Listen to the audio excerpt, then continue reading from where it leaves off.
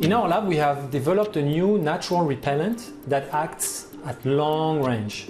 So this is a very big advantage uh, compared to other repellents because uh, typical repellents are, are called topical. You apply them on the skin and then they will still come to you, but they won't bite you. They won't approach, they won't land on you.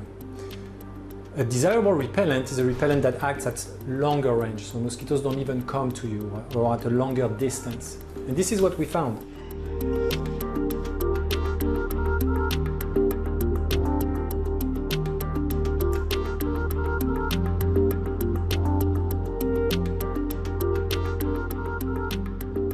First, it's a mechanical protection against uh, mosquitoes biting through your skin. Second, this cellulose polymer um, acts as a chemical camouflage. It prevents your smell that attracts mosquitoes to take off and brings more mosquito in. And then it also releases our repellent um, very slowly. So it extends its duration of protection.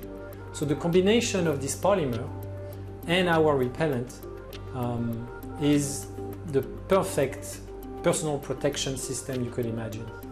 Long range effect and long duration.